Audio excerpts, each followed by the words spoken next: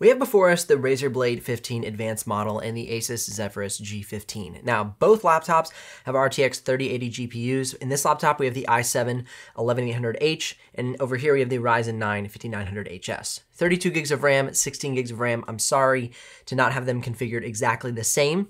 The issue with this one is you upgrade it, it only has one upgradable RAM configuration, so it would be, still only be 24 gigs of RAM or 40 gigs of RAM. So right off the bat, the expansibility, expansiveness of this laptop uh, is going to be better because you're going to be able to get it up to 64 gigs of RAM if you decide to do so. This one will max out at 40 gigs of RAM.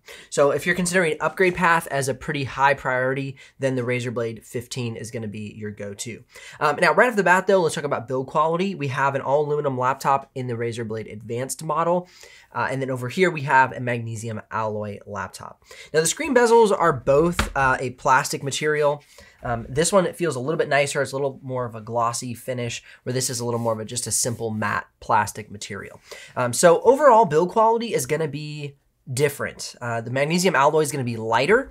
Um, so the thin and lightness of this laptop, thinness is going to be over here, lightness is going to be over here. It's slightly thinner. The Razer Blade 15 is slightly thinner than the Zephyrus G15. Uh, but then again, the G15 is slightly lighter than the Advanced 15, only by a little bit.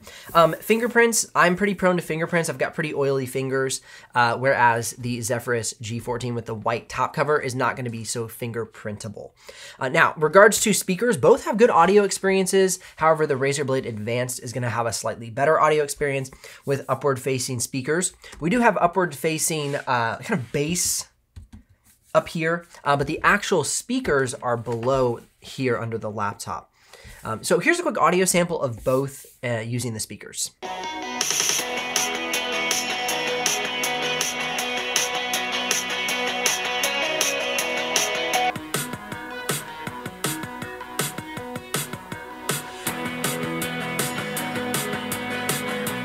Now, while we have the laptops open, as you can see, both screens are exactly the same height. There's just a thicker bottom bezel on the Zephyrus G15. Now, regarding the trackpad, both have great trackpads. Let's see if the size difference is. Um, I think they're almost identical in size. Yeah, they look extremely close in size. Regarding the feel of each of the trackpads, the Razer Blade 15 is a little softer, uh, feels a little more secured to the chassis. The G15 is fantastic, so I'm really splitting hairs here between these two. But if I had to pick one, I'd pick the Razer Blade 15. Um, but overall, this is still a wonderful trackpad, especially compared to the G14. If you're thinking between the G14 and the G15, um, I would go with the G15 for the trackpad alone. It's a great trackpad.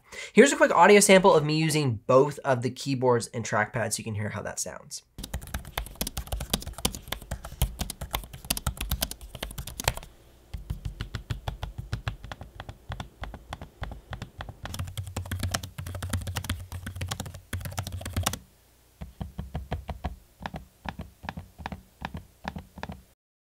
Now, if you're curious about the exact pricing and availability between these two models, you can head down in the description below and click one of those links. Now, if you do use that link to make a purchase, I'll get a small commission, but at no extra cost to you. But of course, that's what keeps this channel alive and the helpful content coming your way. Now, in regards to the keyboard, both keyboards are great. There's a little bit of a longer key travel on the G15 uh, compared to the Razer Blade 15. I like a lot of the function keys, however, on the G15. It allows me to access like the Armoury Crate Center quickly. It allows me to control the fan mode and there's just more access from the keyboard compared to the Razer Blade 15. However, both are great keyboards.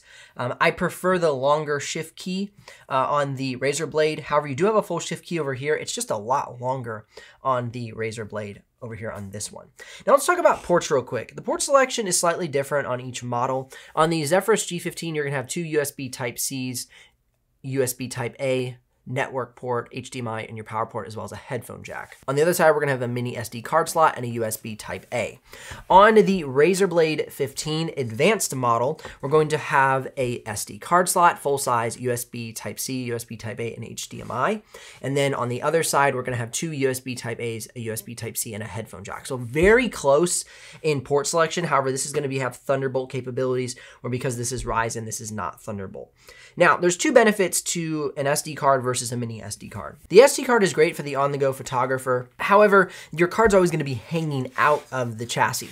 Whereas the cool thing about a mini SD card slot is it slides in and stays in. So what would be cool for that is you could actually create somewhat of expandable storage for your laptop if you find yourself on the go and you wanna bring a couple extra SD card slots, maybe like a 512 or a one terabyte, slide those in and then you have expanded storage.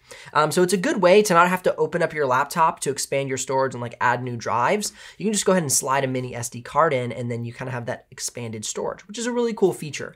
Um, it's something I didn't really think of at first, and then I actually watched uh, another video and they mentioned that. I was like, yeah, why not? That's a, that's a great idea. For color gamut range, you're gonna have better color gamut range on the Razer Blade Advanced model than you will for color gamut range, they're pretty neck and neck, and you can see the results coming up on the screen right now for brightness, color gamut range, and color accuracy.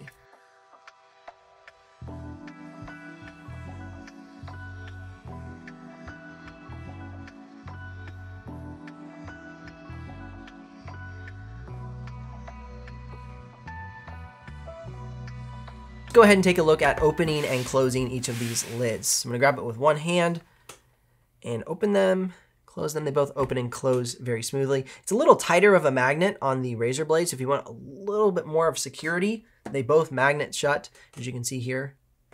Um, but this one's just a little tougher to kind of get off of that magnet. Let's go ahead and check screen flex. So screen flex, good bit of screen flex on the uh, G15. Uh, much less on the Razer Blade 15. And then there's going to be really no screen flex at the bottom because of the three hinge configuration, where on the G15 you're going to have some screen flex on the bottom. Uh, and then of course pushing here in the middle, uh, they're about even with how much push is at the center there, and then closing the top covers, they're about even there as well. There's some push on the on the top covers as well. Now regarding webcams, the Razer Blade Advanced comes with a webcam where the Zephyrus G15 does not, and here's a sample of the Razer Blades webcam. Here is the camera for the Razer Blade 15 Advanced model. You can hear the audio, kind of see the lighting. Like most webcams, it's pretty grainy, but it will do the trick for your meetings as necessary. Regarding build quality and assembly, that's where I lean towards the Razer Blade 15. The bottom cover is just assembled into the side panel so smoothly. It's just a very nice minimalist build. Where on the Zephyrus G15, you've got a lot of edges and design elements and, you know, you end up with some catchy edges because of these things. You know, you have a catchy edge here, right here on the bottom cover of the chassis where the hinge sits in. Uh, you have a little catchy edge here where the network port sits. Where it's just, there's more catch points on the G15, where on the Razer Blade, it's just very smooth, very minimalist. And so as far as build quality and assembly, this is gonna feel like a more professional designed piece of machinery. This is, of course, gonna feel more like a gamer laptop, but still, I love this thing. It's a great laptop, man. Uh, I recently did a full dedicated review, and I, you know, I kind of opened up like why this is my favorite laptop uh, for 2021. Regarding battery life, those results are coming up on the screen right now. Because of the ability to switch into iGPU mode and have heavy control in the Armoury Crate Center, you're gonna have better battery life out of the Asus Zephyrus G15 than you will the Razer Blade 15. It says an 80 watt hour battery, this is a 90 watt hour battery, um, but even though the wattage is so close, because of iGPU mode being able to shut off the dedicated GPU, it's gonna give you better control over the battery. Now there are some settings within the Razer Blade Synapse Center, um, but they don't give you as much customizable control as the Armoury Crate Center. All right, without further ado, let's jump into the head-to-head -head battle with the benchmarks. First and foremost, we're gonna start out in Cinebench R20, R23, Geekbench single core, and multi-core.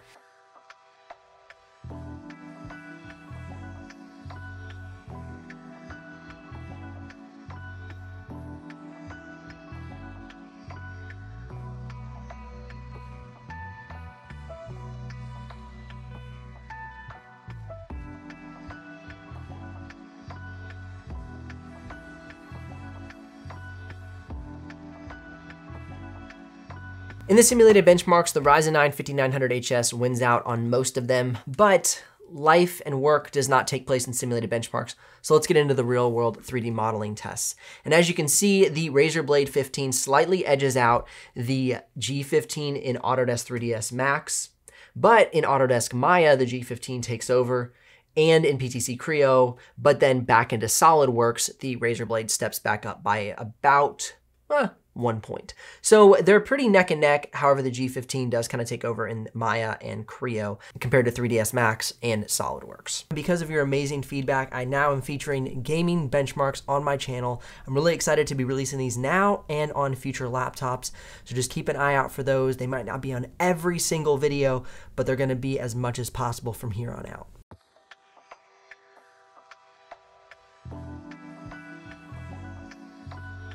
For the After Effects benchmark, both laptops are neck and neck with these RTX 3080s, and they both have powerful CPUs, and so After Effects is running very well on each of them.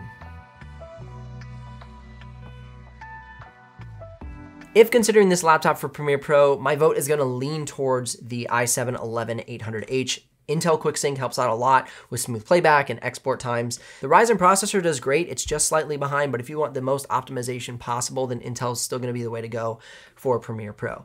Now moving towards the playback, both in 4K and 6K B-RAW, both laptops did very well with those RTX 3080s, so there's gonna be no concerns there. As you move into red footage, you start to get a lot more drop frames, but overall, um, I'm living in B-RAW with my Blackmagic Pocket Cam 6K, uh, so that's really happy for me with both of these laptops doing well. Now moving into DaVinci Resolve, you can see the export times coming up on the screen between the two models. Playback was great in DaVinci Resolve. The studio version really optimizes GPUs. It really loves GPU performance, so they're gonna perform well in studio. I actually run the free version of DaVinci Resolve, so you're seeing results for the free version in regards to the export times. Now, one of my favorite tests is to run the laptops at different fan modes to check the thermals, fan noise, and export times, and here are the results of each laptop coming up on the screen now. As you can see, overall, the Razer Blade 15 is a cooler laptop no matter the fan mode. Whereas with the G15, if you go on turbo mode, you're gonna get really high thermals. But as you move down to silent mode, you're gonna get better thermals, but still a great export time. So really it's up to you how you wanna run the laptop. I personally would run it on silent mode. Both laptops laugh in the face of Photoshop and really any design tool. These things are gonna absolutely slay those design tools. So whether you're an illustrator, artist, designer, or photographer, you'll have no problems with either of these laptops. Punch for punch, it's a difficult decision. They both have upward facing speakers, they both have good keyboard decks, they both have good color gamut range, they have the RTX 3080 and great performance in all of the apps. If I had to make a choice, I would lean towards the Zephyrus G15. It's gonna be a little more budget friendly, a little bit lighter, and I just really like the keyboard, trackpad, and configurations of the laptop. The advanced model is great, it's just a more expensive model. It's more of a premium top tier laptop. This is still great build quality, but this one just stands out for its assembly and premium design aesthetic. And so that's where really that one leans in. So if you want to have a good design aesthetic, really enjoy your laptop for more than just the performance, then you might lean towards the Razer Blade Advanced model. Links if you're ready to make a purchase, likes if this video has brought you some value, and subs if you don't miss out on the future uploads. I'll see you here in the next one.